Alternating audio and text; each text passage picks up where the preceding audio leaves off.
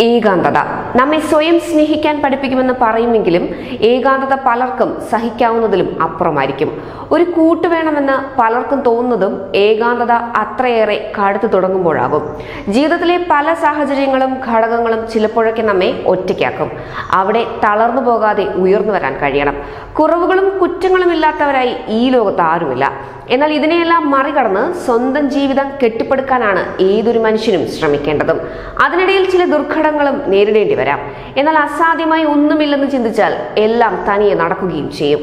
ഇവിടെ യു പിയിലെ ഒരു യുവാവിന്റെ വിവാഹ സ്വപ്നം പൂവണിഞ്ഞ വാർത്തയാണ് പുറത്തു വരുന്നത് ഒടുവിൽ അസീം മൻസൂരി എന്ന ഇരുപത്തിയേഴുകാരന്റെ ജീവിതത്തിലും ഒരു പെൺകുട്ടി കടന്നു വരികയാണ്. ഇതിൽ എന്താണ് ഇത്ര പ്രത്യേകത എന്നല്ലേ? ഒരു പെണ്ണ് കെട്ടാൻ ഈ പഹയൻ കാണിച്ചു കൂട്ടിയ പുകിൽ ചില്ലറയൊന്നും അല്ല എന്നത് തന്നെ. കേവലം മുപ്പത് ഇഞ്ച് ഉയരമുള്ള അസീം മൻസൂരി ഏറെ നാളായി വൈവാഹിക ജീവിതം ഒരു സ്വപ്നമായി കൊണ്ടു നടക്കുകയാണ്. സ്വന്തമായും കുടുംബക്കാരും സുഹൃത്തുക്കളും എല്ലാം അന്വേഷിച്ചിട്ടും ഫലം കാണാതെ വന്നതോടെ രണ്ടായിരത്തി പത്തൊമ്പതിൽ മുഖ്യമന്ത്രി യോഗിയെയും മുൻ യു മുഖ്യമന്ത്രി അഖിലേഷ് യാദവിനെയും കണ്ടാണ് അസീം മൻസൂരി തന്റെ ആവശ്യം പറഞ്ഞത്. പല പ്രശ്നങ്ങളും കേട്ടിട്ടുണ്ടെങ്കിലും ഈ ആവശ്യം കേട്ട മുഖ്യമന്ത്രിയും മുൻ മുഖ്യമന്ത്രിയും ഞെട്ടിപ്പോയെന്ന് പറയണ്ടല്ലോ. എന്നാൽ താൻ പറഞ്ഞത് സീരിയസ് ആണെന്ന് തെളിയിക്കാൻ നിരവധി തവണ അസിം പോലീസ് സ്റ്റേഷനിൽ കയറി ഇറങ്ങി.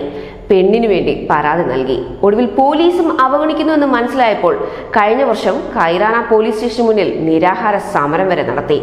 നിരാഹാര സമരവും കേസ് കൊടുക്കലുമെല്ലാം ഫലം കണ്ടു എന്ന് വേണം കരുതാൻ. ഒരു വിവാഹത്തിനായി കാത്തിരുന്ന അസീമിനെ തേടി അടുത്തിടെ രണ്ട് വിവാഹാലോചനയാണ് എത്തിയത്. ഇതിൽ ഉയരം കൊണ്ടും വണ്ണം കൊണ്ടും തനിക്ക് അനുയോജ്യയായ വധുവിനെ അസീം ഉറപ്പിക്കുകയായിരുന്നു. നവംബർ ആദ്യവാരം വിവാഹം നടത്താനാണ് വീട്ടുകാരുടെ തീരുമാനം. ബുഷ്ര എന്നാണ് പെൺകുട്ടിയുടെ പേര്. എനിക്ക് വളരെ സന്തോഷമുണ്ട്. അവൾ വിദ്യാസമ്പന്നയാണ്. പാചകം ചെയ്യാൻ അറിയാം. ഇപ്പോൾ കൊമേഴ്സിൽ ബിരുദത്തിനായി പഠിക്കുന്നു. ഞാൻ അവളോട് പഠനം നിർത്താൻ ആവശ്യപ്പെടില്ല. എന്റെ ഏകാന്തതയുടെ നാളുകൾ അവസാനിച്ചു എന്നാണ് ഒരു മാധ്യമത്തോട് ആവേശഭരിതനായ അസീം പറഞ്ഞത്. വിവാഹം ലളിതമായി നടത്തണമെന്നാണ് അസീമിന്റെ ആഗ്രഹം.